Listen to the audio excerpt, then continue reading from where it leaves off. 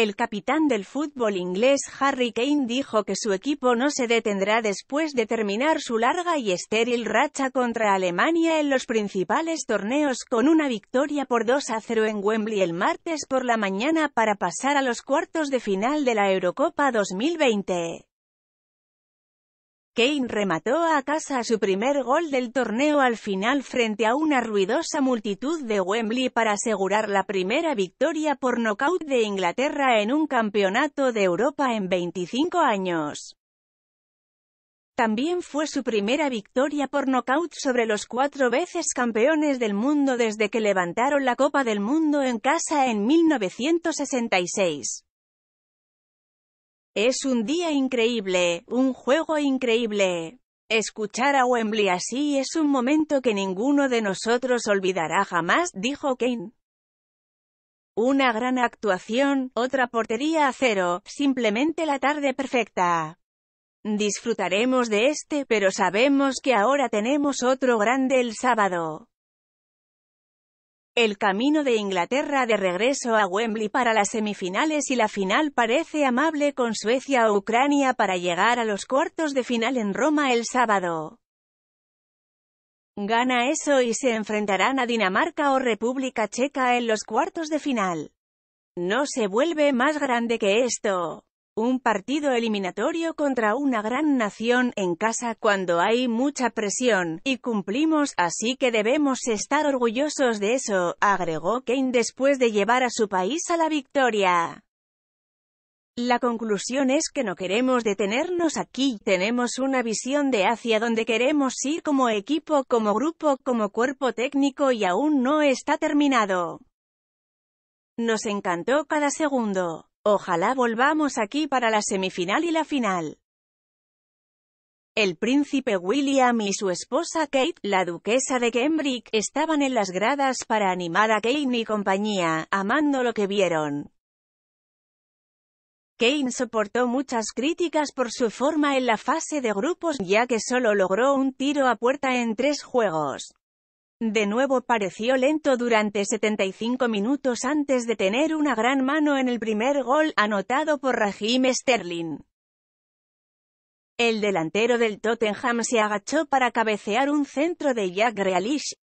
Siempre dije que como delantero hay que estar preparado para la próxima oportunidad, dijo. Es una sensación increíble, cualquier delantero quiere estar marcando goles. Ojalá pueda anotar un par más desde aquí hasta el final. Cuando miras a nuestros jugadores de ataque, cualquier equipo nos estará mirando y sabrá que somos peligrosos. Mantenemos la portería cero, estamos construyendo confianza a partir de eso, habrá más confianza en nosotros mismos ahora, pero tenemos que concentrarnos en el sábado. No podemos desconectarnos.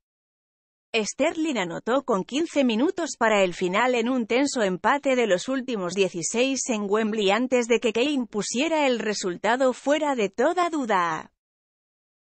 Con la gran mayoría de los 40.000 espectadores apoyando a Inglaterra, los jugadores caminaron hacia un muro de sonido que incluía una recepción hostil para el himno nacional alemán. Inglaterra necesitaba un momento para marcar el tono para aliviar su ansiedad visible desde el principio y Sterling lo proporcionó mientras conducía hacia adelante para una explosión de 25 yardas que obligó a una buena parada de Manuel Neuer con Harry Maguire ganando una serie de esplendosos cabezazos y tacleadas y Bucayo saca probando inteligentemente en el flanco derecho, Inglaterra tomó gradualmente el control. Sin embargo, Alemania casi le arrebata la ventaja cuando Kai Havertz hizo un pase perfecto a Timo Werner dentro del área de Inglaterra. Pero Werner soportó una primera temporada deprimente frente a la portería del Chelsea y una vez más no pudo producir un remate preciso cuando disparó directo a Jordan Pickford. Un pase mal colocado de Thomas Mueller envió a Sterling, corriendo a través de la defensa de Alemania al filo del descanso. Sin embargo, cuando la pelota corrió hacia Kane, fue demasiado lento para aplicar el roe final cuando rodeó a Neuer y el tackle de Mats Hummels apagó el peligro.